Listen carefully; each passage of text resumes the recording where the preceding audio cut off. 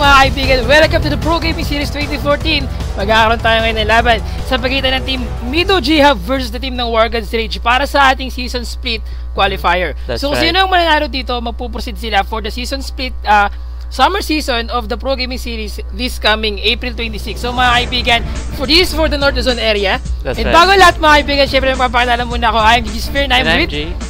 Eto na. Ah, maya-maya lamang magkakaroon tayo na, mag-start na ang ating game dito. Pero Jay, ano yung mga expectation mo na possible na mangyari ngayon sa pagitan ng Team G-Hub versus Team ng Wargad Stage? Doon, hindi natin sila kilala. Ano yung mga expectation mo sa laban nila?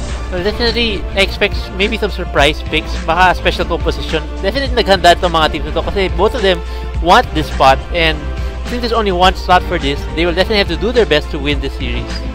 Tingnan ko mga kaibigan, this is the best of three matches for the Team G-Hub versus Team ng Wargad Stage. So, medyo matitindi laban to. Kailangan natin malaman talaga kung sino yung dapat nag-proceed for the season split this coming summer season ng Pro Gaming Series.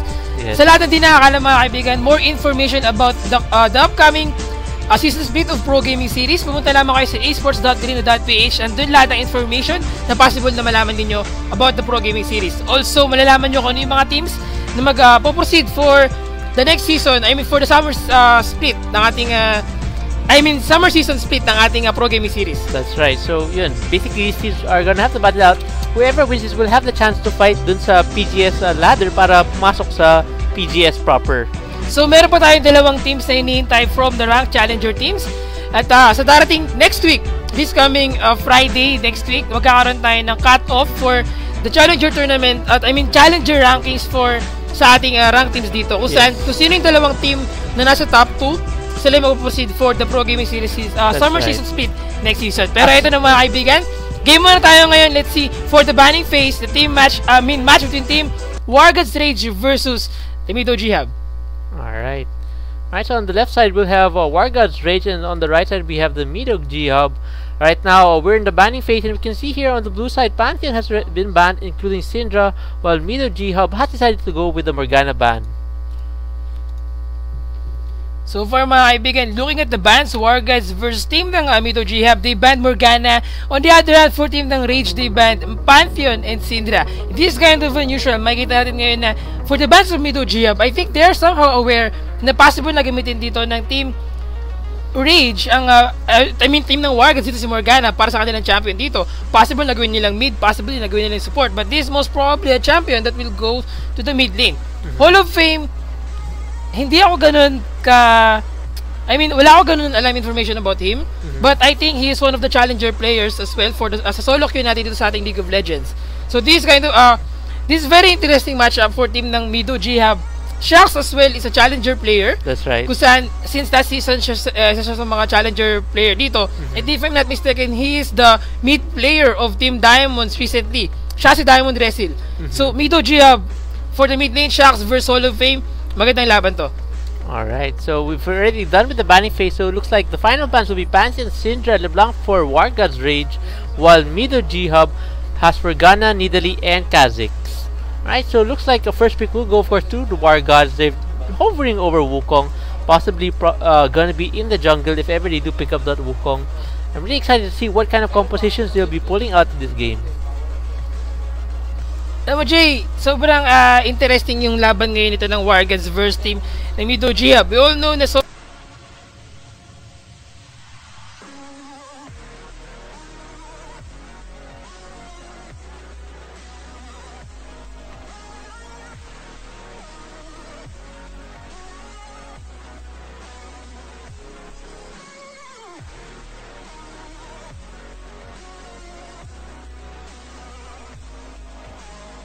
That's right. Alright, so it looks like they do pick up the, the Wukong, and that will be most likely in the jungle, possibly in the top lane. Of course, we see we've seen him a few times before in the top lane. Uh, looks like Mido G Hub are gonna go for their probably their AD carry and support for the first pickup. Hovering over Lucian right now. Lucian being a very popular pick even in the uh, GPL and PGS. We've seen a lot of pro players picking up e- even in the re- recently concluded uh, GPL finals. Uh, Garnet there will love to pick up that Lucian and he did Yes. really really well with that Lucian. And you can see the mobility coming from Lucian and that passive of the double shot allows him to do a lot of damage. Actually, having Lucian as the champion, ang pinakamaganda sa kanya, when it comes to the late game, sobrang effective niya. He can go against a Caitlyn, he can go against a Vayne, an SDL champion dito na sobrang magiging dominating siya. Pero ang problema dito kay Lucian, sobrang nakakatamad siyang gamitin sa early game. Sobrang hina niya, hindi siya ganun ka-effective sa early game. Pero once na makapag-farm siya dito, he got the Bloodthirster, Blade of the Ruin, yung item, depende sa kung ano yung gagamitin niya dito. Also, yung kanyang Last Whisper his item, sobrang magiging effective siya dito. He can win any AD carries laban na to against team members of the War Gods. So, most probably he will go for the Tri- Trinity Force. Well, that is a core item for that is a core item for uh for Lucian. And I think if ever na kumuha siya ng Blade- uh, uh, Trinity Force as his item dito, he, he can make sure na kaya nilang manalo sa bottom lane against kung sino man yung kanilang AD carry na kalaban dito. They pick up Vi para sa kanilang jungler. Ja uh, Vi being a jungle champion, sobrang lakas ng kanyang damage output, especially kapag tumama yung max charge ng kanyang Vault Breaker. Yes. Kung saan sobrang mahirapan dito ang tatamaan ng skills na yun. Actually, they did nerf uh, the Vault Breaker Yes. of uh, V in terms of base damage, but the scaling has been increased to compensate. So, depending on how Mido or J- Job Jaja does build the, the Vi, if he goes for an attack type, his Vault Breaker will effectively be doing more damage. But if he goes for a full tank build, of course, the Vault Breaker won't be doing as much damage as before. But basically, picking up the Vi in their lineup means Mido Gub wants, G-Hub rather, wants to go in and start fights. So ngayon mga kaibigan, looking at the lineup from uh, for team ng Wargods Rage, they pick up Wukong, Shyvana, and Lulu. Three champions having the knock-up skills. They have the airborne skill dito. And I'm thinking that there's a high possibility na kunin nila si uh, Yasuo or Yasuo for sa para sa kanilang possible na mid carry or for the top lane. But they have Lulu. Lulu can go for the support role. Lulu can go for the AP role dito, which is a very effective champion. Kung saan he can do- uh, she can dominate the top lane, I mean the mid lane, also the, uh, the support role sa kanya. But uh, this is a very tricky pick up for their team. Possible kasi na kunin nila itong si uh, Lulu for the support na possible din na isipin nila na hindi, uh, possible kasi na isipin ng Mido G-Hub na hindi na nila kukunin si Yasuo dahil meron na silang top, Shyvana, meron na silang mid lane na si Lulu. Pero let's see mga kaibigan, kinuha ng team ng Mido G-Hub si Jana. I think one reason kung ba't kinuha nila si Jana ay para mabawasan na ng isa pang airborne skill for the team members of the War Gods Rage. Alam mo, Jay, sa lahat ng disabled dito sa League of Legends, ang pinakamahirap counterin, actually, ang walang pangontrang skill dito ay ang airborne, airborne skill. Yes, yung mga knock-up types. So basically, even uh, with cooldown uh, tenacity, the the length of the knock-up always stays the same. And as you can see, a lot of knock-up coming from War Gods. They've got the Shyvana, the Lu- Wukong, and it can be combo with the Wild Growth coming from Lulu to really isolate the targets. Looks like they may even pick up a Blitzcrank with another knock-up, so it's going to be a very heavy knock-up team coming from War Gods Rage if they decide to stick with that Blitzcrank. Pero Right, mga so- kaibigan, I think there's no ISO pick dito for the members of uh, Wargas Reach knowing that they have, they're trying to uh, pre-pick Caitlyn and Blitzcrank. Caitlyn Blitzcrank the bottom lane against Janna and Lucian. Do you think it's a suicide knowing na Janna can counter Blitzcrank? Janna can counter any champion na may pang gap closing ability, also yung may pang hatak like the the rocket grab, also yung kay Trash, also yung death sentence niya. Once na they initiated the team fight, gagamitin lang dito ni Janna yung kanyang monsoon para mag-disengage lahat ng team members from the Wargas Rage. Yes. So, do you think it's a suicide deal for the bottom lane ng team mga Wargas dito? I don't think it'll be a suicide, but it will definitely be much harder for uh, Rage to initiate, especially with the Janna. Janna's there definitely to protect Lucian, and we know how dangerous Lucian can get. He's able to free hit from behind. He's got his ultimate, uh, the calling, and of course he can use his other skills to easily kite the mem- uh, members of War Gods. Of course, we see War Gods have a very heavy dive composition as well. They've got the Wukong and the Shyvana who can easily jump into the back line of uh, Mido G-Hub. Now, if Janna can time his monsoon properly to push away those two uh, tanky champions from War Gods away from his uh, AD carry, they should have no problem. Yes, this is a very interesting mga kaibigan for team na Mido G-Hub. They're trying to pre-pick Oriana para sa AP mid carry champion for the team members of the Mido G-Hub. This is a very effective champion for the mid lane. Pero against a Lulu, do you think he can win against a Lulu champion dito in the mid lane? Well, I feel like Lulu should have the f- advantage of the first two levels as long as Mido G-Hub uh, Orianna is able to stay away from Lulu the first few levels and not take too much harass, he should be okay. Because once he has his shield, he can protect himself from the kiting coming from the Lulu.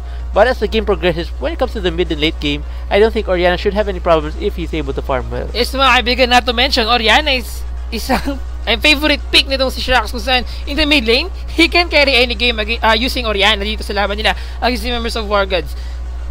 For the lineup mga kaibigan, Wargas, Rage, they pick up Shivana, Wukong, uh, Lulu, Caitlyn, and Blitzcrank para sa team members of the Wargas Rage. For the Mito G-Hub, they have they have Renekton, Vi, Oriana, Lucian, and Jan as well. Looking at this kind of lineup, in the early part of the game, laning phase, who do you think will dominate dito? In the top lane, we have Shivana and Renekton. Who do you think will win? Sobrang, ngayon ulit ako nakakita na ganitong lineup. Uh, I mean, ang matchup. Renekton and Shivana. It's been a while mga kaibigan. Since yung mga changes natin dito, ang dami ng champion na nagagamit sa top lane. At ngayon na natin makikita ulit si Shivana and Renekton. Well, I just like to point out we're using the 4.5 patch and Renekton got a nerf on his ultimate at the lower levels. So I feel like definitely uh, Shyvana may have the advantage in the, uh, the early game, but if it comes to the late game, the new scaling ability of Franklin should give him better power to deal with the Shyvana even in the later parts of the game. So we will really have to see how both players perform in the top lane. Of course, we'll be seeing Wukong in the jungle. It'll be very interesting to see as Wukong is not an aggressive jungler at the early levels, unlike Vi, who's able to do a lot of damage Yes. and do a lot of good ganks at the early levels since of uh, the crowd control provides. 6, actually, sobrang laki ng advantage tong si Jaja or itong si uh, Vi having his champion dito to dominate the laning phase over the members of the Rage. And I'm thinking na before he have to, before na maabot niya yung kanyang level 6, hindi ganun na maagak na maayos ito si Wukong. Take note mga kaibigan, Summoner Spell of Team Wargods, they have the heal for Shyvana, they have the heal for Caitlyn as well. Heal is a very effective Summoner Spell after nung patch natin dito sa 4.5. Mm-hmm. Nagkaroon tayo ng buff having na-increase yung healing range niya. Actually, I'm really interested to see what kind of runes and masteries the both teams are using since the 4.5 match.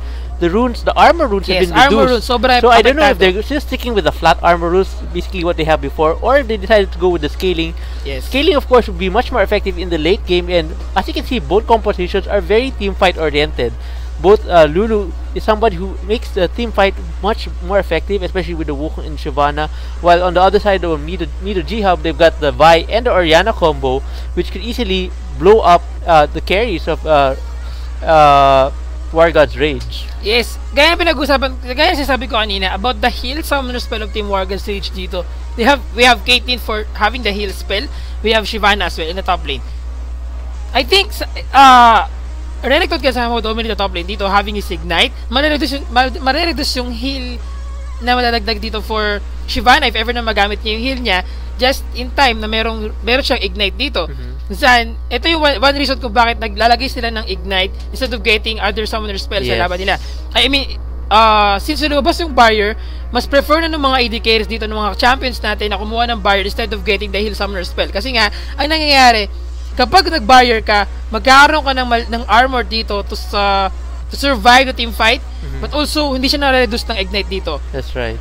Pero itong heal, once na ma-ignite ka, naba- nababawasan yung heal na nabibigay sa'yo ng heal mo. Yes, actually, Mido G Hub only picking up one Ignite and so on Renekton. So, I think the heal pickup would be very interesting on uh, uh, Rage Ken right now. As he only, the only time he'll have problems with his heal is whenever Renekton starts to dive him at a much later part of the game. But in the early level, as you can see, there's since there's no Ignite coming from Janna or Yana or even uh, the jungler, of course. So he should have no problem with that heal. And the heal has changed to healing the nearest teammate. Yes. So Blitzcrank will effectively receive a good heal as well. Pero isa pang pinaka-interesting dito, having the bonus movement speed, once na gamitin mo yung heal, I think it's around 30%. And if I'm not mistaken, around, pati yung mga team members mo na tinamaan ng heal dito ay magkakaroon din ng movement speed.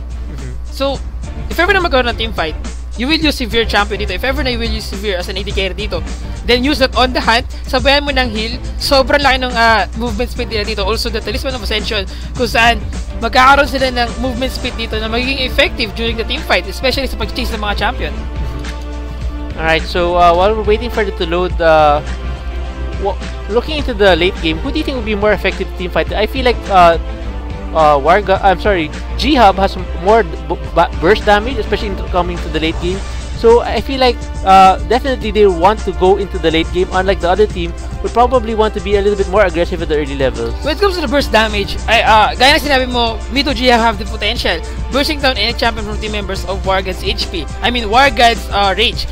Ang problema dito for the team ng Wargads, they, uh, ang problema dito for team ng Mito G Hub, Wargads have Wukong, they have Shivana, they have champions na kaya mag-survive ng mga teamfight dito. They also have uh, uh, champion na katulad ni Blitzcrank kung saan possible na mga attack dito or mag-rocket grab ng kahit na sino, sinong champion from team members of Mito G-Hub. If ever na makapaghuli, makahuli sila ng kahit na sinong champion dito, I think the only way na they can survive the team fight dito ay yung suporta coming from Jana.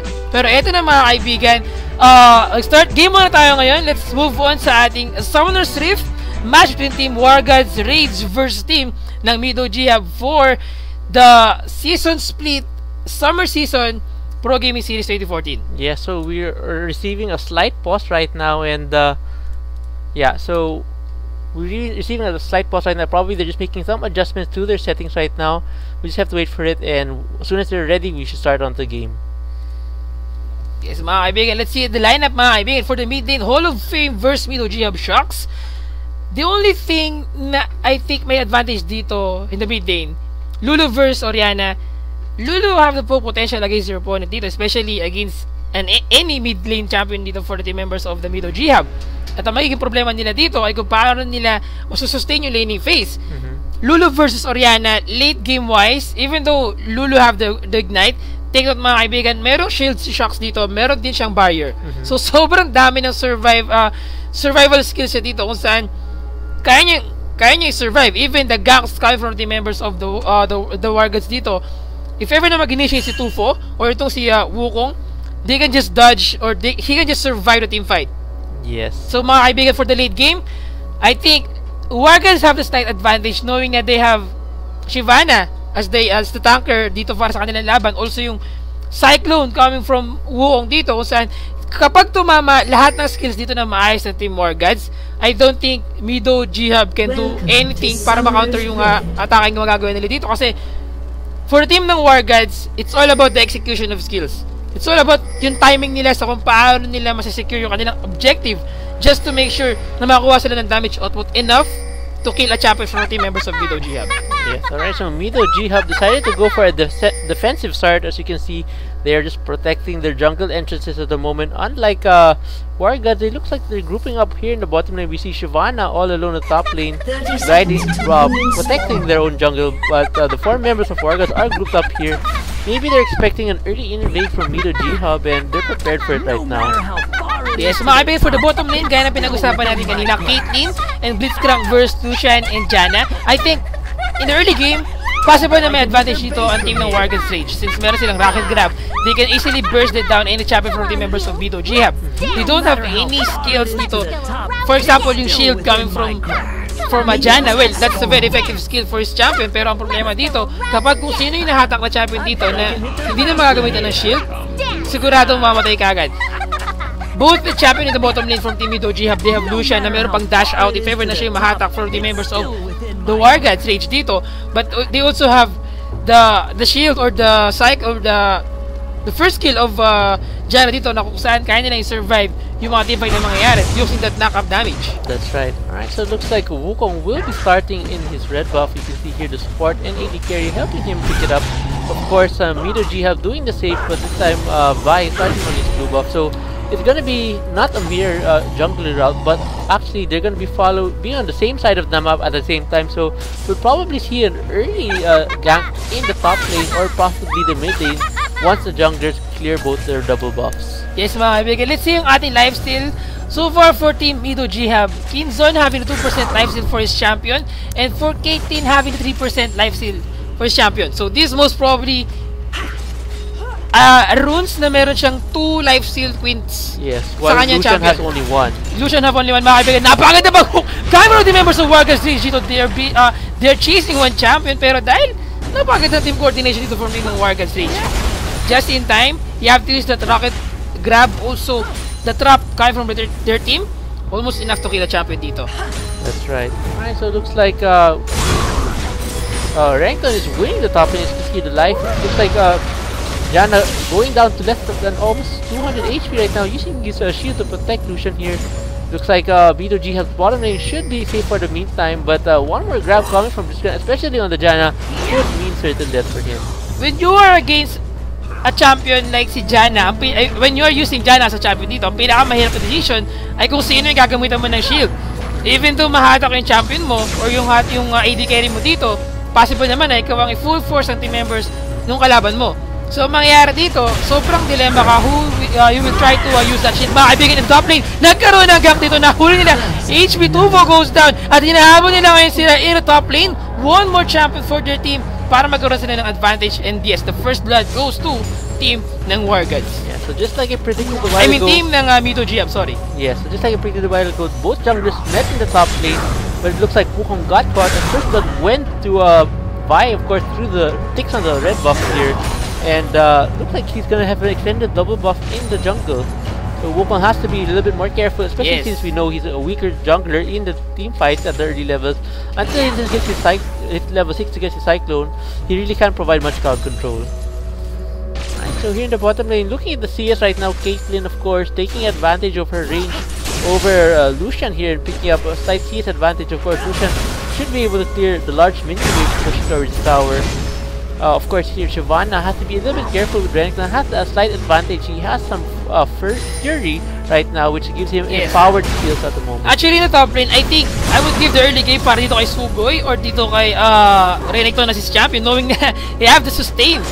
At ito yung pinakamahirap na kalaban sa top lane. Ang any, any champion na meron sustain, mga kabigan, nanganib ang buhay nila dito. Lial, he have this at dash out as well. At nag-dash in ang mga kabigan, slice and dice from Sugoy dito to kill down one champion na top lane. And yes, successfully killed uh, Lyle na top lane. And I am thinking na medyo naging, nagkaroon ng miscalculation for Lyle dito yung top lane. Yes, I think that's a little bit careless. He knew uh, that uh, Renekton could do a lot of burst damage with his Slice and Dice and of course his two other skills. Although the Ignite was down, it was more than enough. Is it kabigan? In the bottom lane, habol nila ngayon si Rage. Uh, Raven na bottom lane, napagad na pag-initiation. Uh, pag-initiate for the team members of Bido Jihab. Pero that Volt Breaker missed out for Jihab J Jaja dito na bottom lane.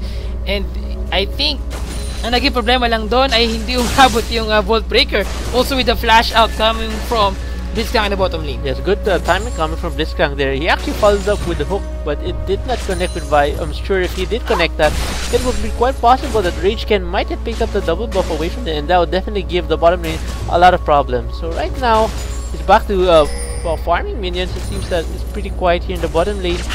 Uh, uh, Caitlyn though, still with minion advantage right now, about 5 CS advantage in his favor. Napakaganda na naman mga kaibigan. Rocket Gap from the members of Rage dito. Ginamit ang shield for uh, for Kinson in the bottom lane. They're taking so much damage. Half-life na mga kaibigan.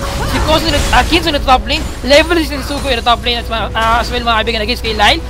And if ever na magkaroon dito na sabay na top lane, knowing na meron na siyang uh, S dito for his champion, I think mahirapan dito si uh, Lyle to uh, sustain his uh, ability in the top lane.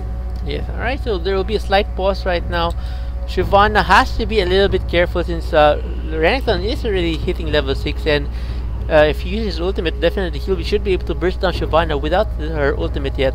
Looks like the first pickup coming from the Shyvana is the Chain Vest to give her a little bit more armor while Renekton definitely going for the very aggressive build. Probably gonna pick up a Tiamat really early and continue pushing really hard at the top lane. Bayola mga kaibigan, the bottom lane, very effective skills, uh, using that skills for Kidson para sa kanyang AD carry dito kung saan sobrang nahihirapan na makakuha ng champion dito ang team ng Rage. Uh, even though they have the advantage against their opponent, ang nagiging problema lamang dito sa laban nila in the bottom lane ay yung shield na ginagawa nitong si Bayola para kay Kinson to uh, make sure na masustain nila yung bottom lane, get the CS, get the kills, at uh, magkaroon sila ng advantage sa laban na to. This is mga kaibigan, kapag ginamit na kayo ni Sugoy ang kanyang dominus at nagkaroon tayo ng post-game.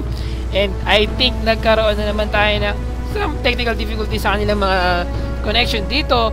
But uh, do you think Lyle will go down dito sa top lane against kay Sugoy? Let's see, uh, Renekton's Ignite is still a few seconds away from coming out. A summoner has Probably if he can stick to Lyle long enough before his ignite to come out, he should have she should be able to pick up Lyle without any problem since Lyle has not reached level 6. But if Lyle is able to escape, he does not have his flash or heal. It may be hard for Lyle to get away from Sugoi here. So my guess is there's a high chance Sugoi might be able to pick up this kill.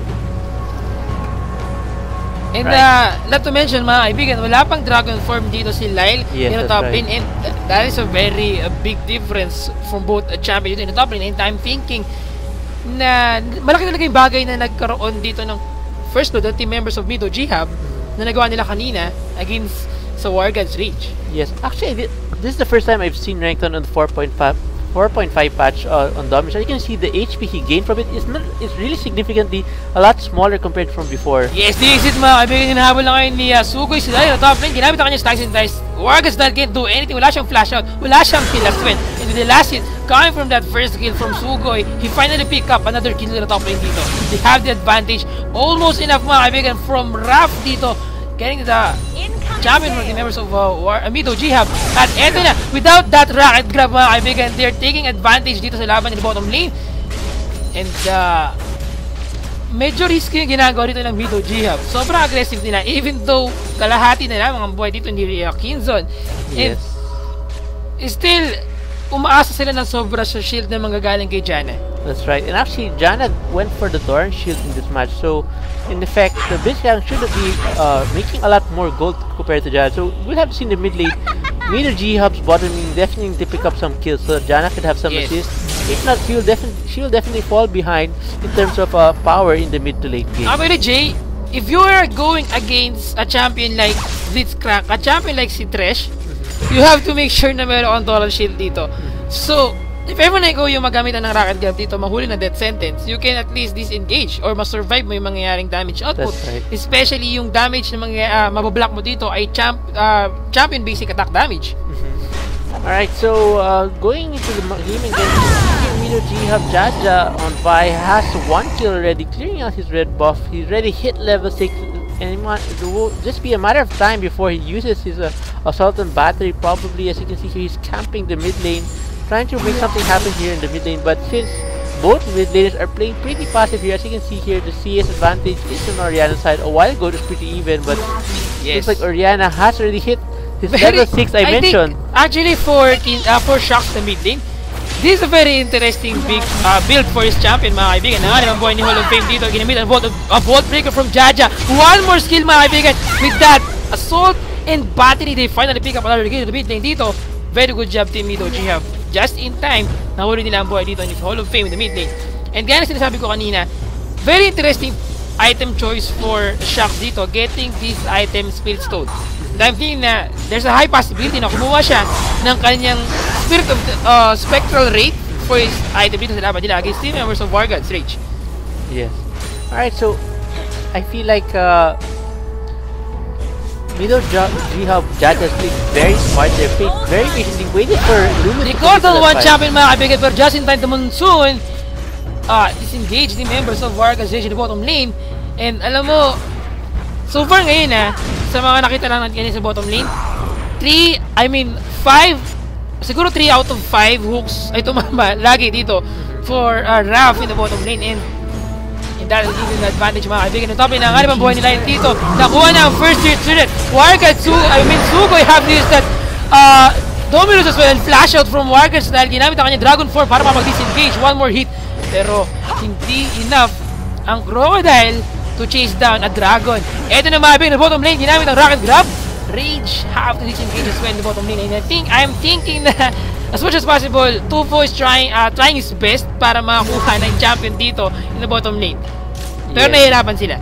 Alright, so good uh, plays from uh, G-Hub there, avoiding that, that hook uh, coming from this crank. Of course, uh, a while ago, G-Hub Sugoi was very aggressive with Shyvana. Since Shyvana was already le past level 6, he was able to use his Dragon's form to escape the initiation coming from G-Hub. The Ignited ticked down and was just not enough for him to pick up the kill. So Lan gets away with that and pick up a few more items. Uh, he just picked up a boots. He's probably waiting for a Giant's belt before uh, spending his gold. So just going back to farm up some more minions. Ito maganda sa recent patch natin mga kaibigan. Hindi ganun kadaling kumuha ng solo dragon sa laban na to. You have to make sure na buo kayo yung lima para makakuha ng successful dragon sa laban na to. And they're trying to get the first dragon mga kaibigan. Tubo trying to wait his chance mga kaibigan. Pero nakuha pa rin dito ng Wadi Mimito G have ang first dragon of this game. Wagan's happy. How, I mean, Tubo have to use that Cyclone as well. Raph na ang pa kanyang body. One more hit and yes, they pick up another kill. One champion, two champion goes down from team members of Wargad. Rage dito. Sugoy, big attack champion. Ginamit na ngayon ni Kinzo ng kanyang SS. They're chasing down two members of team Margats dito. And yes, a solid body has been popped out. And yes, one champion mga kaibigan in exchange of four champion from team members of Wargad. Rage dito. It's a 4-1 exchange in favor of team Namito Jihab. That's right, and I feel like uh, Mido Jihab will probably follow up with the towers. You can see they're four-man strong here. There should be no problem. Right now, Light is uh, in the top lane trying to push the top third. I feel like War Gods Wargod's Jihab, uh, Wargod's Rage overcommitted to the Dragon. They should have uh, not tried to uh, contest it that way, especially since they were lacking one member. Actually, napakalaki ng advantage dito ni Renekton. Nag-isis opponent dito na si, si Lyle na top lane. Even though Lyle's trying his best to get the first victory in the top lane, ang laki ng exchange na to. They got the Dragon, they also got the 4 champion in the bottom lane. And it's for one champion only for the members of Mido Jihab. So, very big difference na dito ang meron tayo against, uh, I mean, top lane atin dito having Renekton and Shyvana. That's right. So right now there's about a 4k, 4.5k gold lead advantage for uh, G Hub. This is actually a very big advantage. It's only been 12 minutes into that game that Dragon and those two spirits that they picked up so far, including the kids. Yes, the Hall of Fame is go down mga kaibigan from Mito Jihab dito. He's being chased down. Ginamit ang Monsoon, pero I think almost enough mga kaibigan para mapag-disengage sana siya, pero Mito Jihab, did, uh, I mean, Sharks didn't waste his time para makuha na isang champion dito sa laban nila. And yeah. I think that Monsoon almost enough mga kaibigan para ma ma masayang actually. yung gank na yun. Pero, very good job for team Namito GM sa laban. Right, so it looks like Suko is still pulling out light here. You see here, you can't seem to go head to head with Renekton at the moment right now. They have the same items, of course, but with the advantage of uh, Renekton picking up that uh, Tiamat is definitely going to allow him to bully Shyvana for the rest of the game until he's able to pick up a few more items. Yes, so far mga kaibigan, Wargods finally pick up the first tier series in the bottom lane. So 2-3 mga kaibigan ang exchange natin sa ating tier destroy. But uh, Lyle still trying his best para makakuha ng uh, enough form in the top lane dito. Alright, so looks like Lyle will be going back to the including Rankton. Uh, Miho, Mido G-Hub, Jaja again picking up his red buff. Looks like he will be holding on to that for most of the game as he's so far doing a pretty good job with 1 kill and 3 assists here. Oriana, of course, with the most kills in Lido G-Hub's team right now with 4 kills and 1 assist. Oops, nice side step. just in time.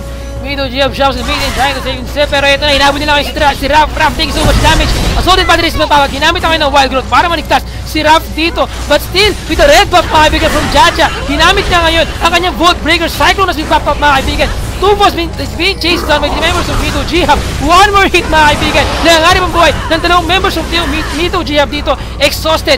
Tufo is about to go down. And yes, he goes down mga kaibigan. Ignited mga kaibigan. Shutdown na ngayon. Si Shax in the mid lane. Hall of Fame against two champion of Team Mito Jihab. 2 for 2 exchange na ito mga kaibigan. Lyle finally pick up another kill. They're still chasing down Lyle dito. Mga kaibigan, Raf trying to use that recall para mapag makauwi sa kanilang base and yes, It's a 2 for 2 exchange. And I'm thinking na hindi ganun kalaki yung difference na nangyari dito since pareho silang nakakuha ng dalawang champion sa laban. That's right. That's a very messy team fight, a very extended team fight as, as well as you can see there. Do you think there was no wards uh, at that area and a Rap Trap was able to, uh, like you said, recall back the base without any problems. There was also a large minion wave coming from War God's Rage in the bottom lane, forcing, uh, of course, Lucian to go there and pick up a lot more CS here. But of course, Caitlyn is still in the advantage in terms of the CS count right now, and in terms of items, they're pretty much even, although Lucian has completed his boot. Uh, Caitlyn still has uh, to go back to base to, to finish that off. Yes, mga kaibigan, ginamit ako ng shock sa kanya. Shock in the lane. Hall of Fame goes down. He was ignited. Shock's being chased down, pero napalitan na itong laban na to. Raf, one more hit from the members of uh, Middle GM and is even uh, they successfully came down the champion dito. Monsoon just in time para ma-shove back si Tufo in the mid lane and the heal shocks as well. It's a 1 for an exchange. It's a 2 for an exchange in favor of team na Mido G-Hub. Ang score natin ngayon ay 3-13 na. Looks like nakabawi na si Jana. A while ago, he made a mistake with his Monsoon, but this time around, he was able to use it effectively to save the life of a Mido G-Hub shock there with the heal and shield coming out, protecting him from the burst damage coming from Wukong. Wukong also had a nerf on his uh, crushing blow, and because of that, I feel like that's probably the reason why he Yes. survived. Uh, Oriana survived that uh, the burst damage Tsaka- coming from Wukong. At saka one reason kung bakit ganun na nahihirapan sila dito. Wukong don't have enough damage output or yung damage 80 base damage na dito. Against Oriana, eh, Oriana have the shield, they have the buyer as well. Na nagamit niya kanina. But uh, I am thinking na medyo talagang nahirapan na sobra dito si Wukong mag-secure na kanyang juggling route. Mga kabilit, dinabol nila ngayon si Hall of Fame dito. Pag nagamit dito ni Bayola, kanya slow. Yes, he was slowed. And ginamit na ngayon na Shockwave, pero hindi umabot for Hall of Fame dito. Ginamit na kanyang Wild Growth. And they successfully disengage in the mid lane against the members of Vito G-Hub. Alright, so looks like Oriana will be picking up those minions in the mid lane here. Jana spotting out a, uh, a, a ward here. A hook coming from Blitzcrank, not connecting with Jana. Jana will be able to move away safely there. Looks like the dragon will be spawning in a few seconds, down to 3 seconds right now, and they will attempt to do it again. Wargas this time will be 4 man strong once again, but Lulu is not far behind. I expect another team fight to happen here. Oriana gonna go ahead and pick up the rate in his jungle. Of course, he needs to stack up those uh, minions in the jungle so that his uh, Spirit of the Spectral rate will be uh, maxed out right away. Yes, mga kaibigan, Wargas Rage trying to get the second dragon of this game. And if ever na mag-success sa pagkuha ng uh, second dragon na to, they have a slight advantage. I mean, yung pagbawi sa kanilang uh, gold difference dito mga kaibigan. And yes, they got the first second dragon mga kaibigan. They're, they're, they're chasing down team members of Wargas. And one champion goes down. At surut-surut na ito mga kaibigan. It's 2 for 9 exchange na. Double kill for Sharks in the mid lane. Ginamit ang kanyang ace in the hole. Hall of Fame na iwan dito. Wala siyang flash out. He can't do anything. Even the wild growth. He's trying his best to kill the one champion mga kaibigan. At least in exchange of that for champion. Pero hindi umabot. That's right. So two members of Mido G have going down very low will be going back to base. Uh, Ken here now being chased here Ito by na uh, mga kaibigan Kingston. for the ace. One more hit. He have to use that flash out. Kinson is unstoppable sa laban na to. Alright, so it's now a 7.6 gold advantage for Mido G Hub. This is a really huge advantage once again. In the 18 minute mark, I feel like Mido G Hub practically have this game in the bag unless Wargas could play uh, excellent team fight and ace Mido G Hub and pick up some objectives, objectives for themselves. Alright, so right now we can see here that uh, I will probably donate his blue buff over the Shocks in, in a few minutes here. Three members of uh, Team Wargas Rage here facing off with uh, G uh, Mido G Hub Shocks right now. No problem for Shocks here. Now uh, looks like they will pick up the blue buff like I mentioned a while ago. And Jana is going to be there to protect them from any invades. Alright, blue buff going over to Shocks right now. In terms of towers right now, you can see here that Mido G Hub definitely has the advantage since they were able to really take out the middle third of Wargat here. The advantage in terms of map control is slightly in favor for uh, Mido G Hub, but as long as uh, Rage can avoid uh, Mido G Hub from pushing any more towers, they should be able to hold on to this game. Shucks mga kaibigan, one more hit for for Rav in the mid lane. Makuha sa nilang buhay dito, but Hall of Fame using that shield, almost enough mga kaibigan. He saved uh, from that uh, clash in the mid lane dito. Alam mo, Hall of Fame, with this score 160, hirap na hirap siyang lumaban against the mid lane. This is most probably the most ineffective way of uh, trying to defeat ang Oriana the mid lane. Lulu against Oriana. Oriana have the advantage. Sobrang laki ng advantage niya. Kahit na mabigyan niya ng poke damage itong si Oriana, I don't think that is enough para manalo siya sa laning phase nila dito. The mid lane. Yeah, and I feel like Warga's lineup kinda lacks CC because both Shyvana and Wukong don't really provide any CC except for the knockup of Wukong's uh, Cyclone. Other than that, at the backline, if they're trying to change the AD carry, they don't have any way to slow him down or stop stop him. Unlike Mido G Hub, Renekton has a stun, including Bai has two crowd control abilities that can easily burst down Caitlyn or Lulu. Napakaganda hugong mga kaibigan pero nagkamali siya doon. Dahil si Sukoy Shockwave got 4 champion from team members of Wargas Rage dito. Assault and Battery 1 champion goes down. 3-4 na exchange na ito. Sobrang ganda palitan. Ace in the hole. Ginamit niya ngayon ang kanyang Vault Breaker para maligtas ng isang champion dito. And they successfully kill down 3 champion. Lucian wasn't even mo. there. yung napakaganda pag Shockwave dito from Shocks in the mid lane. Yes, and 4 champion got caught Yeah, and Lucian wasn't even there. So 4v5 there. So that hook was definitely a wrong hook, especially pulling Yeah, out the sobrang strongest mali. tank in the team of uh, Mido G-Hub right now. Looks like Mido G-Hub might be able to end the game if they're able to uh, execute this, uh, this team fight properly. As you can see here, one by one, they're able to take out the members of Team Rage. Kaden going down already.